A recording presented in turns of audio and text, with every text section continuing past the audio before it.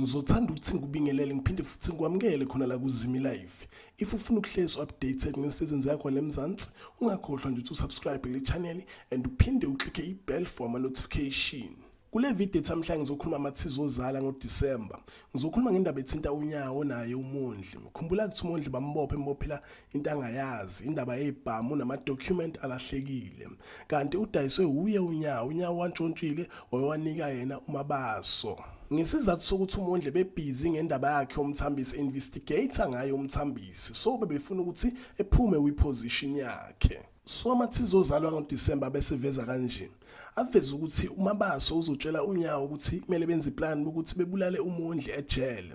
And futhi waphinde wamtshela unyawo ukuthi kumele enze iplan ukuthi ebulale lomlisa owathi isibhamu sidayisele umondli loba bemqashile ukuthi eqamba amanga cause isibhamu kutholakala ukuthi sinemeda and amathizo ozala aphinde aveza ukuthi le ndoda ebiqashwe uye umabaso ukuthi iqamba amanga ukuthi isibhamu yasithola kumondla. Izolikhuluma iqiniso kodwa akekho umuntu ozoyikholwa. Kuzoba nemeeting kuye kuzoba uye unyawo naye umondli mase kuba umabiyela bazokwenza imeeting. Imeeting izobe ibizwa uyena unyawo ngenxa ukuthini unyawo kuzobe kunzima for yena ukuthi ebulale umondli. Unyawo kuleyo meeting lapho azokhuluma khona iqiniso ukuthi ahlahle kwenzakalani. And umondli bazobe sebemdedela ke and bazothi mabemdedela umondli uzoqhubeka ke ebekuyo le case yakhe umthambisi investigate about yena umthambisi.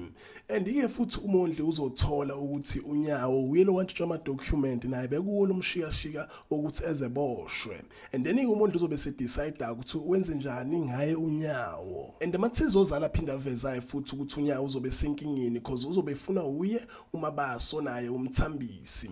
And umondli uzobe engasithathiki isinqumo ukuthi ahlahle unyawo ngabe umusejele or uyamnyakhuze ubufakazi uzobe engenabo enough. Kodwa ke futhi uzobe ecasulwa ukuthi unyawo afuna ukukhipha uthathahle obala abasebenzisana nabo. Kodwa uzothola umuntu ukuthi noma baso involve kuyo ke le ndaba. Bengifuna nje ukutshela amathiza awo kuzalo bengusummarizeela ngizophinde futhi ngibuyeke nawo amanye. Bengifuna nje ukutshela izinto kumele uyilindele kulo December kulo uzalo. Engithi ke nje danke ngiyabonga. Ungakhohlwa ukuthi ulike